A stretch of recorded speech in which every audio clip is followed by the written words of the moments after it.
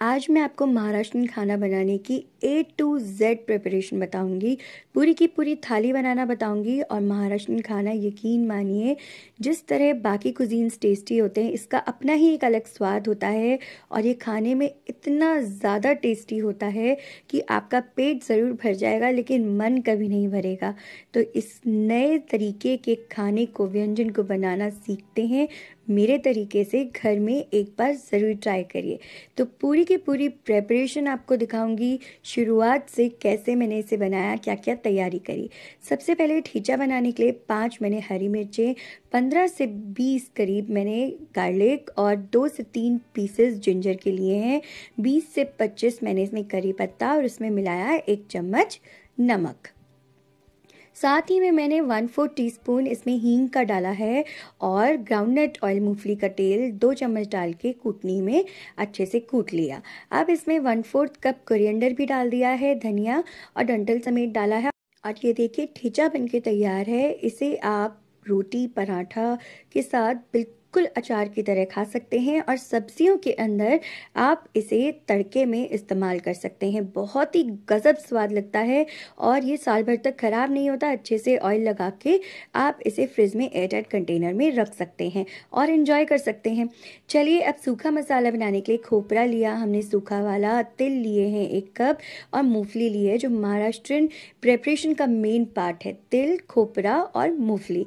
मूंगफली को हमने एक कप मूंगफली को अच्छे से रोस्ट कर लिया। मोस्टली मैं क्या करती हूँ, मूंगफली को ना सेक कर रख ही लेती हूँ, क्योंकि आए दिन मूंगफली काम आती ही रहती है। तो इस तरीके से मूंगफली को सेक कर रख लीजिए, ख़राब भी नहीं होती और मिक्सी के अंदर मूंगफली का ना मैंने पाउडर कूट बना लिया। थोड़ा सा मोटा कूट बनाना है आपको, इसे बनाकर रख लीजिए, काफ़ी काम आता है। अब ये जो तिल है, एक कप, ये भी मैंने अच्छे से रोस्ट कर लिए। रोस्ट करके अगर आप तिल को रखेंगे तो तिल भी ख़राब नहीं होंगे और रेसिपीज़ में तो काम आते ही रहते हैं। तो चलिए अब हम जो तिल है इसका भी पाउडर बना लेते हैं। तिल को ना अच्छे से पाउडर बना लीजिए। मैं आपको ऑलरेडी बता चुकी हूँ ग्रेवीज़ में मैं कितना इस्तेमाल करती हूँ। बिल्कुल ढाबे जैसा स्वाद आता है। और ये जो सूखा खोपरा होता है ना, नारियल जब सूख जाता है, उसको कद्दूकस करके, उसको भी देखिए हमने हल्का सा ब्राउन करके, अच्छे से रोस्ट करके रख लिया है। इससे भी खाने में बहुत स्वाद आता है। ये भी आप रोस्ट करके रख लीजिए। तो देखिए नारियल रूम टेम्परेचर पर भी कभी ख़राब नहीं होगा।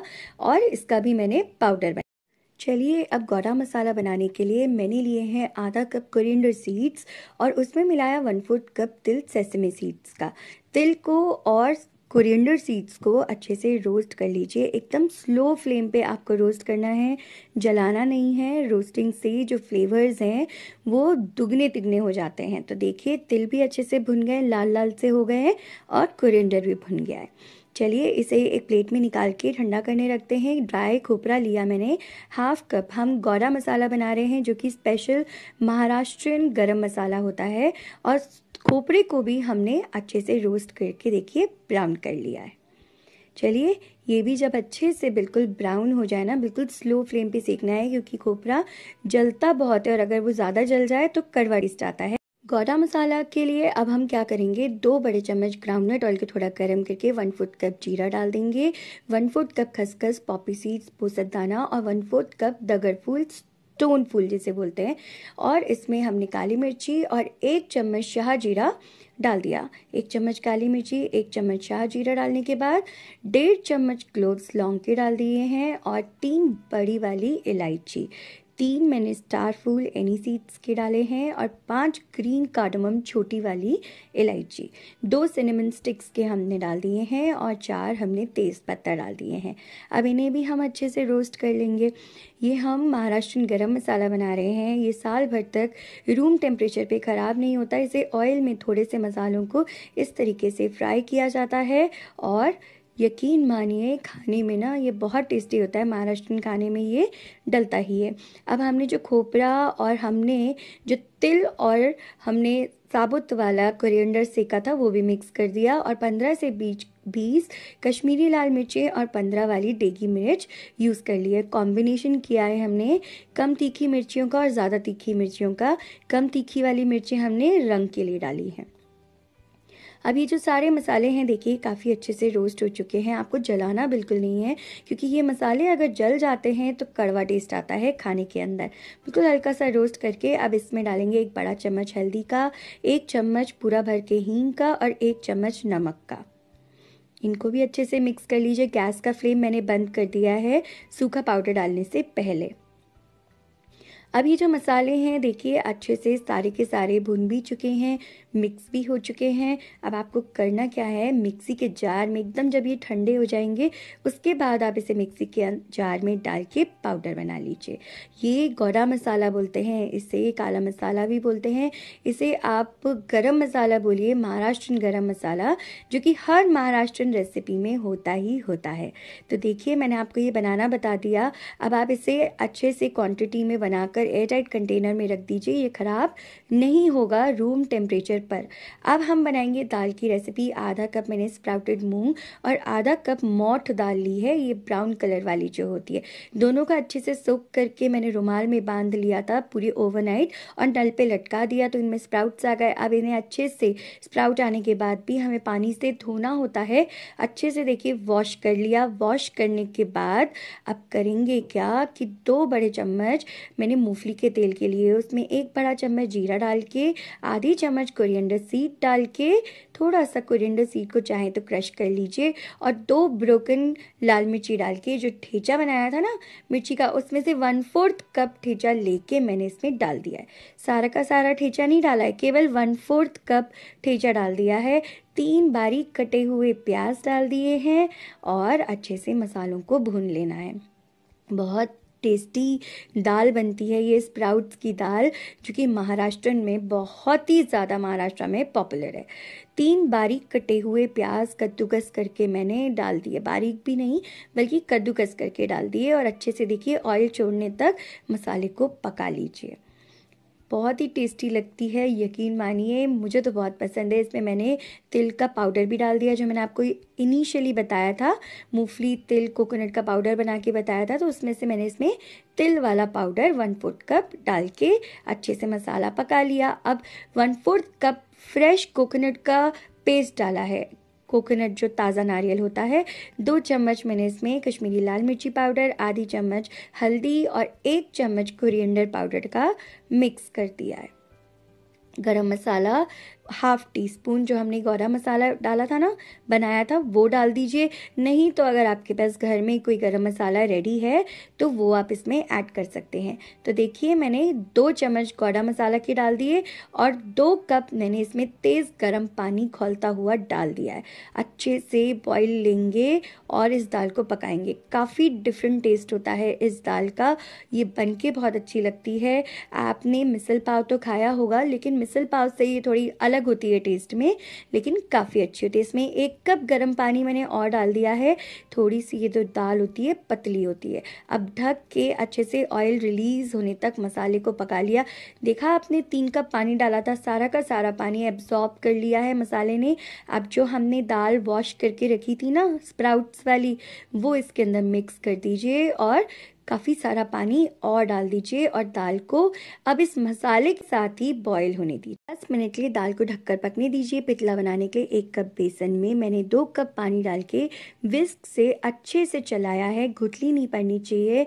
आप चाहें तो चलनी से इसको छान भी सकते हैं, जिससे कि घुटलियाँ रिमूव हो जाए। तो अच्छे से इनफ पानी डाल के दो बड़े चम्मच ठेचा चटनी जो बनाई थी, आधी चम्मच हल्दी और एक चम्मच नमक डाल के अच्छे से मिक्स कर लीजिए। ये पितला जो होता है ना, पराठों के साथ खाया जा सकता है, चपाती के साथ खाया जाता है, बहुत टेस्टी लगता है, पुलाव के साथ खा सकते हैं।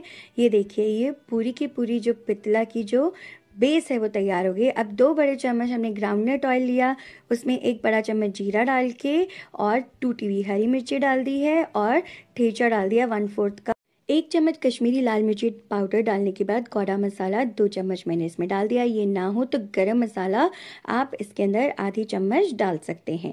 साथ ही में बारीक कटे हुए दो प्याज डाल के मिक्स कर लीजिए। प्याज जो है इसमें आपको ज़्यादा पकाने की ज़रूरत नहीं है। बहुत ही क्विक सी रेसिपी है। प्याज ना इंस्टेंटली बस मसाले में मिक्स होते ही पक जाते हैं। अब प्याज डालने के बाद इसमें बारीक कटा हुआ बहुत सारा धनिया डाल दीजिए। करीब one fourth cup, half cup तक और थोड़ा सा पानी डाल के मसालों को पका लीजिए। बिल्कुल हल्का सा दो चुटकी नमक मैंने इस मसाले के लिए मिलाया है। पितला में ऑलरेडी नमक है। तो चलिए जो रेडी हमने पितला बनाया था घोल, वो डाल के आपको कंटिन्यूसली इसे विस्क से चलाया जाता है।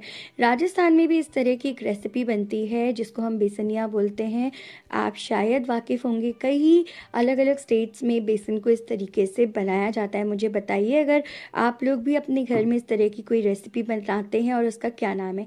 देखिए, जैसे ही बबल्स आना शुरू हो जाते हैं, ये पक जाता है। इस पर तड़का लगाने के लिए एक बड़ा चम्मच ऑयल का लिया, उसमें आधी चम्मच राई डाल के तड़काई और वन फोर्थ टी स्पून हींग डाल के इस पर तड़का मार दीजिए।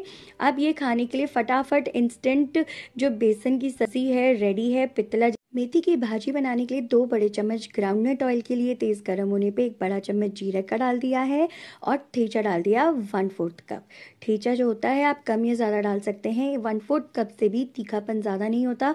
स्वाद बहुत अच्छा आता है। आप चाहें तो थोड़ा और क्वांटिटी मिला सकते हैं, ज़्यादा तीखा खाना है तो। क्रश ग्राउंड नट इसके अंदर मैंने मूंगफली का पाउडर डाल दिया है। आपको याद है, दाल में मैंने तिल का डाला था? और मेथी की भाजी में मूंगफली की कूट डाली है। एक चम्मच नमक, एक चम्मच चीनी डाल के और नींबू का रस, एक चम्मच। ये महाराष्ट्र स्टाइल में मीठी की भाजी है। इसे तो आप घर में ज़रूर ट्राई करिए, मज़ा आ जाएगा खा के और इसमें एक पंच मेथी को अच्छे से वॉश करके हमने पत्ते निकाल के थोड़ी डंठल समेत काट लिया था और डाल दिया। अब इसमें one fourth cup fresh coconut डाल के बस आप देखेंगे दो से तीन मिनट में ये भाजी रेडी हो जाती है। मूंगफली की कूट इसमें डलती है, कोई भी हरी सब्ज़ियाँ होती है, उसमें आप ऐड करके देखिए, रोस्टेड पीनट पाउडर, बहुत ही अच्छा टेस्ट आता है। देखिए, नमक, चीनी, नींबू और मूंगफली ने क्या चमत्कार किया, ये सब्ज़ी बनके इतनी गज़ब तैयार हुई है। चलिए, ज्वारी की भाकरी बनाने के लिए मैंने पानी उबाल लिया, उसमें एक चम्मच नमक डाल के और दो कप ज्वारी का फ्लावर डाल दिया है, आटा डाल दिया है। जवारी जो होती है छोटी छोटी सी राई के दाने जैसी सफ़ेद रंग की होती है, उसका ये आटा है, बहुत खाने में पौष्टिक होता है और इसको आटे को ना इसी तरह लगाया जाता है। उबलते हुए पानी में नमक डाल के आटे को ना थोड़ा सा पकाया जाता है। आप देखिए, अपने हिसाब से कंसिस्टेंसी को मैनेज करिए। मैंने करीब एक गिलास पानी लिया था और उसमें ढाई से तीन कप देखिए, आटा आराम से चला गया है। अब इसे हम घोटनी से देखिए, आटे को, गैस को मैंने बंद कर दिया है और घोटनी से आटे को इस तरीके से लगा के आप तैयार कर लीजिए। इसी तरीके से जवारी का, भाकरी का आटा तैयार होता है। ठंडे आटे से अगर आप लगाएँगे तो रोटियाँ अच्छी नहीं बेलेंगी देखिए, आटा बिल्कुल रेडी है। अब इसे अच्छे से ना मथ लीजिए।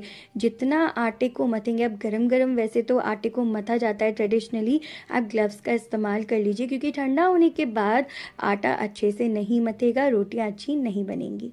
ये देखिए मैंने अच्छे से थोड़ा थोड़ा करके क्योंकि आटा काफ़ी गर्म था तो मैंने थोड़ी थोड़ी क्वांटिटी में हल्का से ठंडे पानी का छीटा देते हुए आटे को अच्छे से मथ लिया है। ये हम जवारी भाकरी बना रहे हैं। चमत्कारी वाली बात यह है कि ये भाकरी एक महीने तक भी ट्रैवलिंग में आप यूज़ कर सकते हैं। ऐसा कहते हैं कि ये ख़राब नहीं होती, कपड़े में लपेट कर एक एक महीने जब पहले के लोग ट्रैवलिंग पे निकलते थे तो जवारी भाकरी को अपने साथ लेके रखते थे और खाते रहते थे। तो इस तरीके से जवारी भाकरी थोड़ी मेहनत से बनती है, लेकिन खाने में टेस्टी होती है, काफ़ी हेल्दी होती है। डायबिटीज़ में भी आप इसे यूज़ कर सकते हैं घर में। देखिए, परफेक्ट आटा लगा दिया ना एकदम। अब एक पेड़ा लीजिए छोटे अमरूद के आकार का। अब इसकी रोटी बहुत ही आसानी से जैसे नॉर्मल आप गेहूँ की रोटी बनाते हैं ना, बिल्कुल वैसे बना लेंगे, देखिए।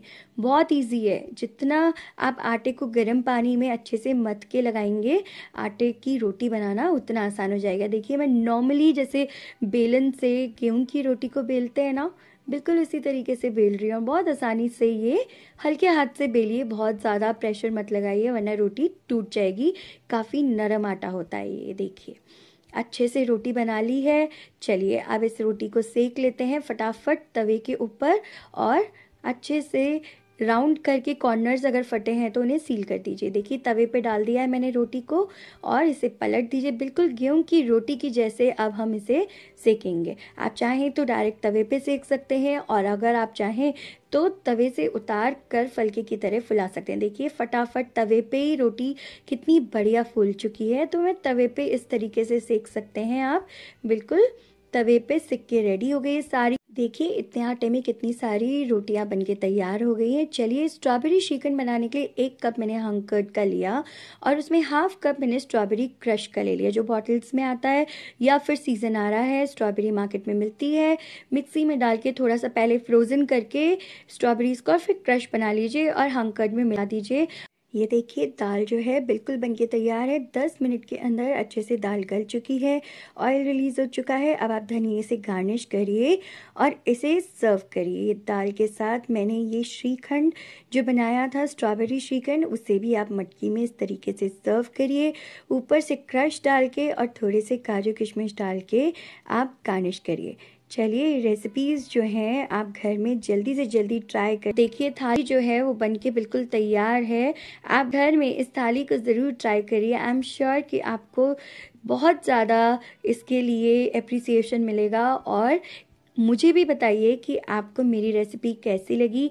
आपके कमेंट्स का मुझे हर बार की तरह इंतज़ार रहता है।